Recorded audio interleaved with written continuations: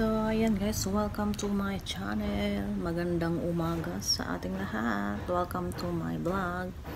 Ayan, today's vlog, magluluto po tayo ng nilagang baka. So, ito, prepare ko po yung mga ingredients. Isa yung mga isasahog. Binalitan ko na yung saging. Ayan, may kamote, tsaka sibuyas, tsaka sitaw.